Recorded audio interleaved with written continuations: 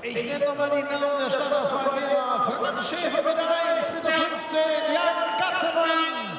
Die 4, David Kwiatkowski. Die 3, Niki Granat.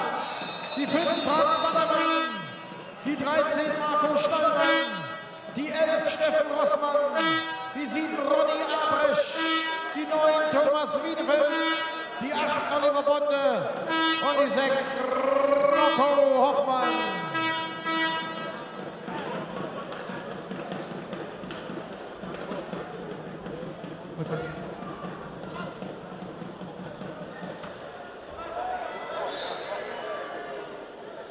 Diese Namen könnten morgen alle auf Seite 1 in der OTC stehen.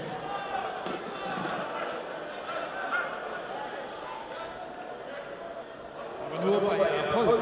Ziemlich nur bei Erfolg.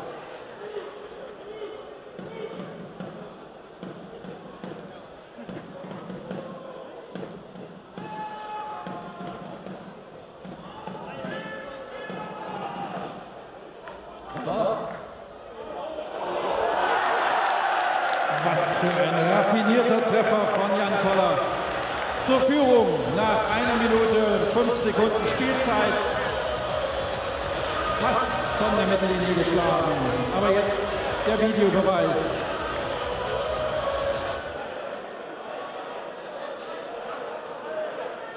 Ja, Bernd hat Ganz eindeutige Regelauslegung.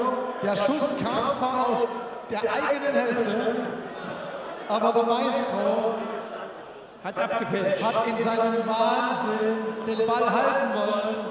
Und weil er abgefälscht hat, Aber ein Torwart muss doch einen Ball halten, Zimmi. Ich verstehe das nicht. Hätte er durchgelassen.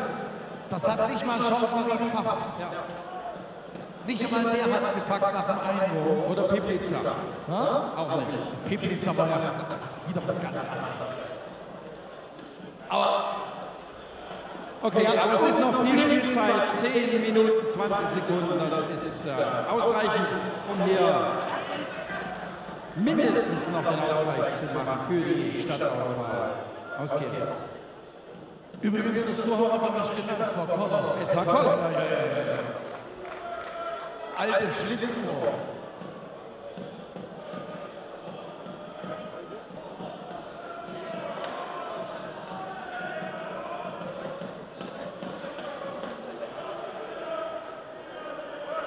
Der Halle gibt es keine Eigentore.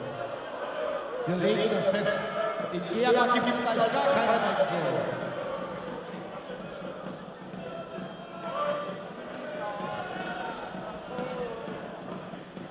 So, liebe Zuschauer, wenn Sie jetzt wollen, dass vielleicht äh, die Stadtauswahl Gera das Finale erreicht, dann müssen Sie jetzt mal das Tempo ein bisschen erhöhen und die Lautstärke auch ein bisschen Stimmung machen hier in der Pantofhalle, die Partie noch zu drehen. Die Gera warten auf ihre Unterstützung.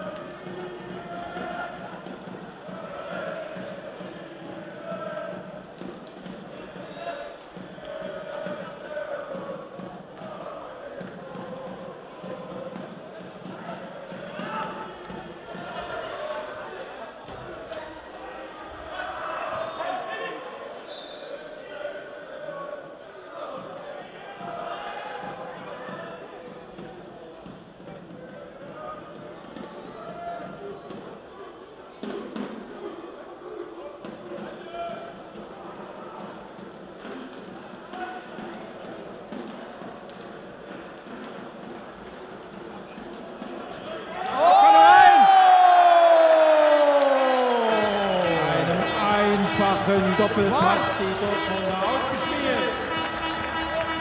Und das war wieder unser Mann mit der Nummer 7 für die Stadtauswahl Ronny Abresch.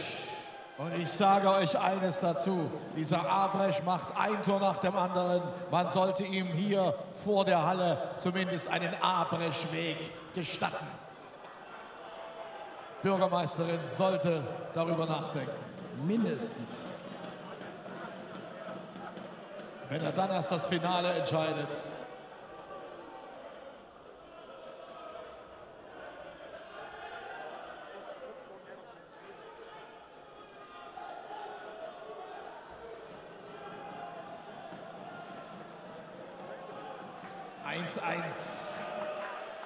Spannung steigt.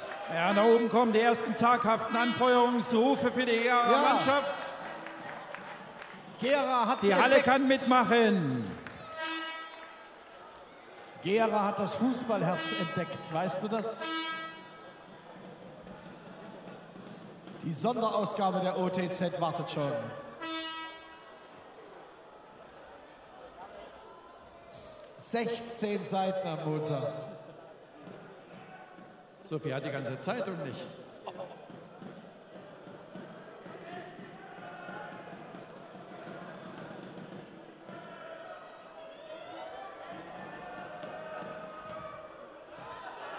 Wieder Jan Gefährlich, aber großartige Fußparade. Aber Frank Schäfer. Großartige Fußparade von Schäfer, meine Damen und Herren. Da denkt man an 54 Schäfer, immer wieder Schäfer.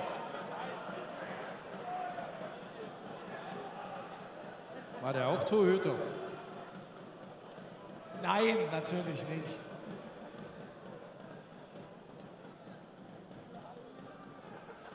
Meine Damen und Herren, die Hälfte des Noch gut fünf Minuten jetzt im Halbfinale. Zufrieden mit der Gerstenmannschaft? Ja, ja, ja, ja, kein Thema. Wichtig erstmal wieder zurückzukommen ins Spiel. Bleiben uns alle Möglichkeiten erstmal offen. Das ist erstmal das Allerwichtigste. So. Wir können aus eigener Kraft was bewerkstelligen. Was wir mal Wir werden sehen. Der Ball ist rund und jeder hat hier eine Chance, als Sieger vom Parkett zu gehen. Ich denke mal, es wird eine Taktiererei werden und wer am besten, sagen wir mal, taktiert und wer die wenigsten Fehler macht, könnte eventuell als Sieger gewinnen. Wart mal ab. Oder es gibt ein 9-Meter-Schießen. Ja gut, aber wir haben ja hinten einen Schäfer, der hat wieder alles rausgeholt. Ja, das geht dann wieder bei Null los. Also, wir werden sehen, wollen wir hoffen, dass wir von unserer taktischen Linie aus, dass wir so bleiben. Ja, also, Alles da. Damen und Herren, unterstützt eure Mannschaft.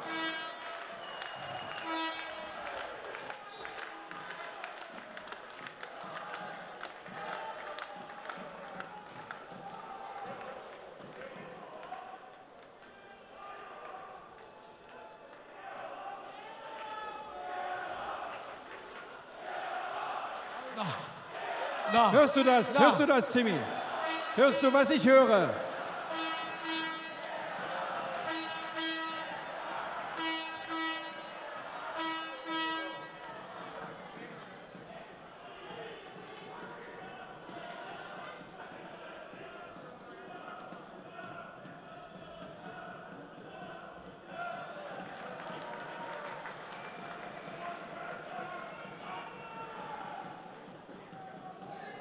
Ein Sanitäter.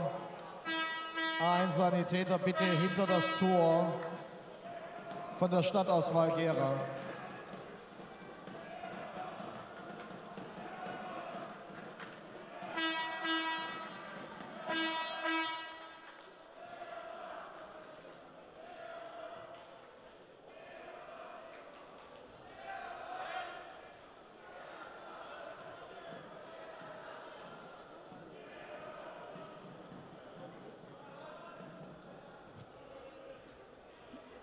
Und das ist die Riesenchance und da ist das, Tor. ich nicht. Da ist das Tor für Das die Stadtauswahl. Gera und die Pandorf-Halle. Sie tobt.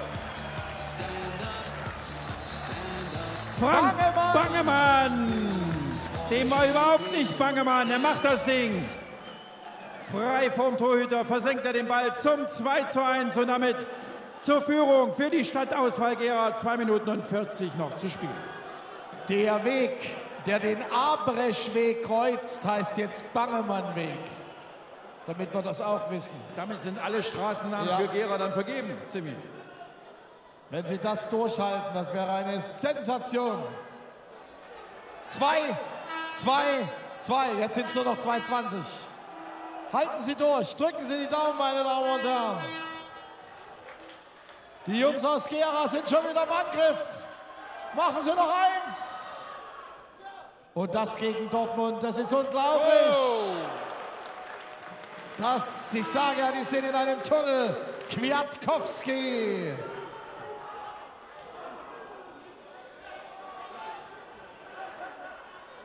Weg das Ding.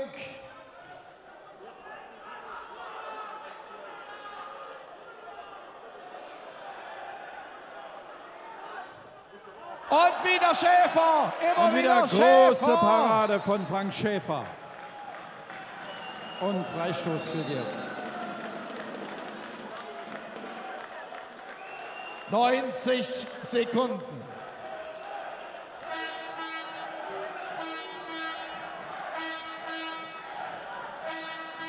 90 Sekunden noch und jetzt sind es nur noch 80 Und bis zur Turnierüberraschung.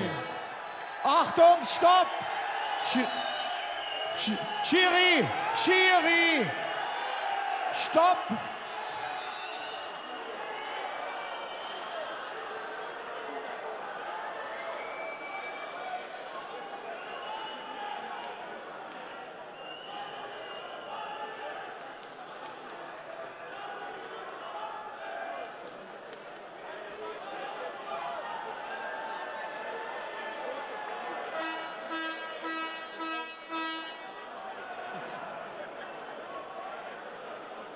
Jetzt noch einer zu viel.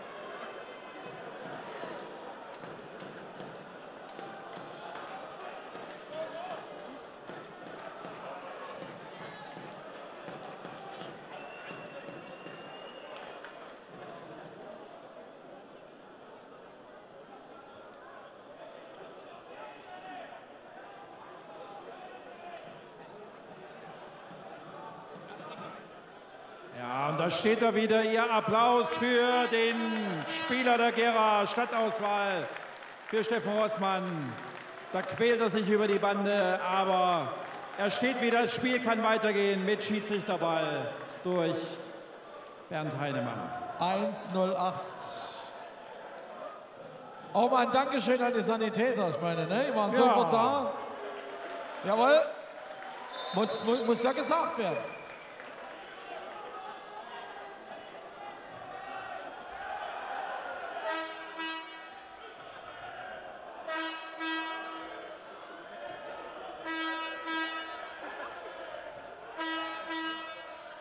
»50 Sekunden noch.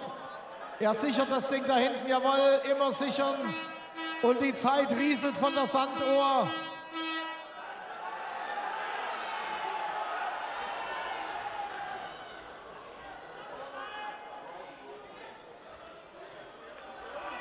Schäfer.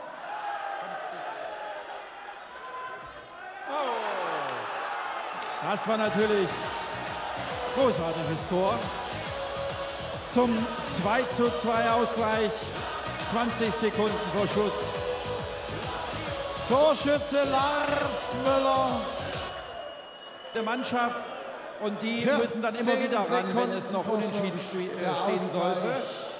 Also beide Teams haben jetzt die. Möglichkeit. und jetzt, jetzt sind wir durch mit diesem Spiel. 2 zu 2 der Endspiel. Drei Schützen.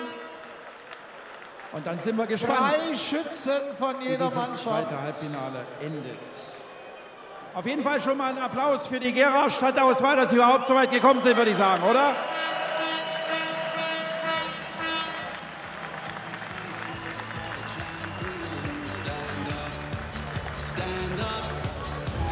Das Allerwichtigste ist jetzt wer traut sich zu. Ich will ja keinen bestimmen. So, also. Okay, komm hier. Lass es. Ich drin, ne? Drei Stück brauchen wir. Ja, drei. Also ich muss nicht. Schieß scharf, hey Jungs, scharf schießen. Hey, Das ist scharf, Männer. komm mal her, komm mal her. Nicht zureden, das muss klar sein. Das muss ja. Entscheidung. So, wer fängt an? Die Jungs machen erst. Aber nicht viele. So, bitte nur drei Spieler, dann auch von der Stadtauswahl Gera, die anderen ein bisschen zurück, damit wir ein bisschen Platz haben hier auf dem Feld für das 9-Meter-Schießen. Die Dortmunder haben sich für die Spieler Jan Koller mit der Nummer 3, Lars Müller mit der Nummer 6 und Dimi Kalpakidis mit der Nummer 8 entschieden. Und Jan Koller beginnt gegen Frank Schäfer.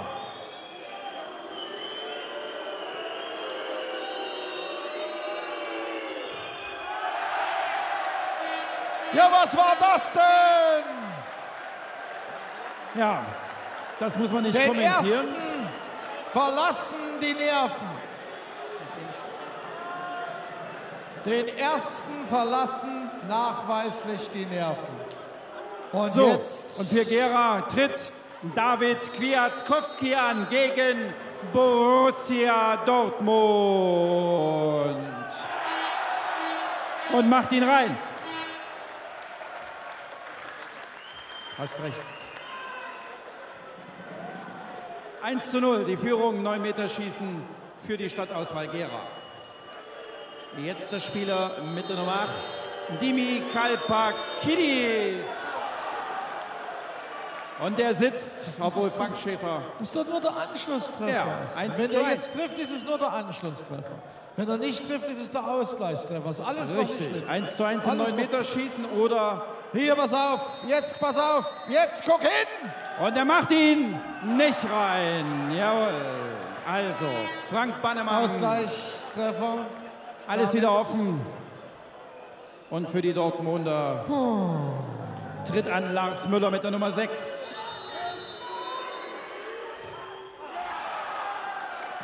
Und der war gut verwandelt. Da hatte Der muss jetzt der Frank Schäfer keine Abwehrchance. Jetzt liegt's an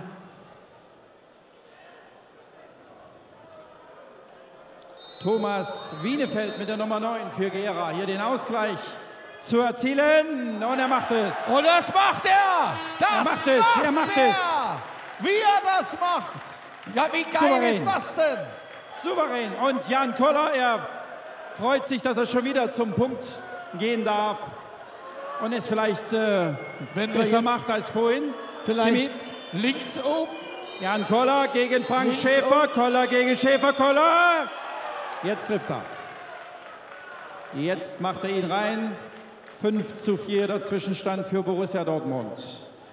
Jetzt muss es David Kwiatkowski wieder richten.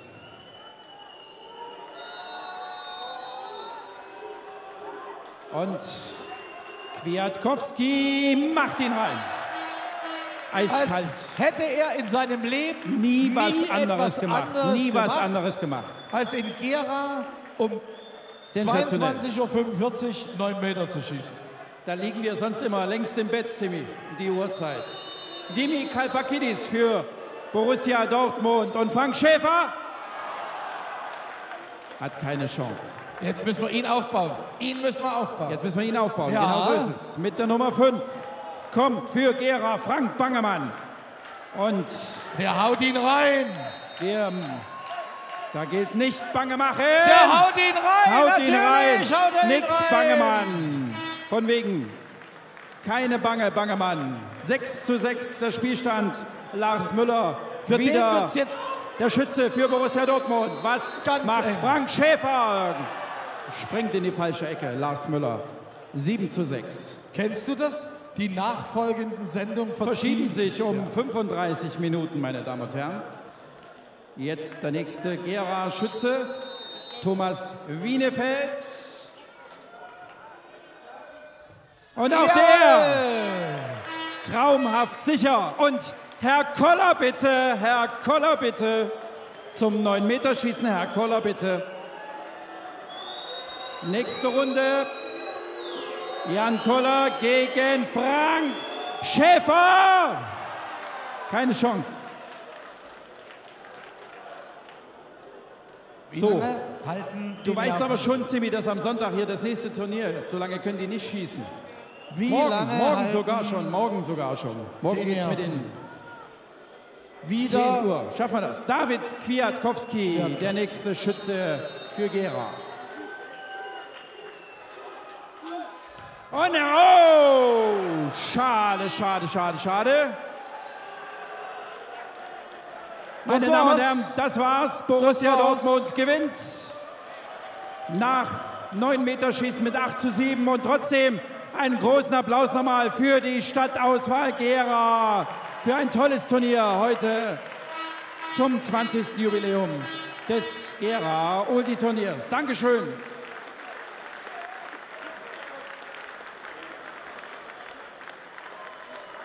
Mit Pech rausgeflogen jetzt, aber, aber gut gespielt, alle Spiele. Gut, gut gespielt, Pech rausgeflogen, aber so ist es nun mal am 9, 9 Meter Schießen. Ist es, ne? 9 Meter Schießen. Ärgerlich, hätte man ihn halten müssen. Ne? Ja, wie viel hast du denn heute gehalten? Hast du mal mitgezählt? Du hast doch bestimmt 15 Nein. todsicher Ja, rausgeholt. ist halt ärgerlich. Ich war ein bisschen unglücklich. Kurz vor Schluss das Tor in Winkel war ein schönes Tor. Ja, hätte nicht sein müssen, hätten wir eins oder zwei ins gewonnen. Ja, in der Meterschießen haben wir viele getroffen, bis halt irgendjemand Pech am Fuß hat. Das ist nun mal so. Tut mir leid für den Kiwi, aber da kommt er wieder raus. Alles klar, Alles tschüss. gut.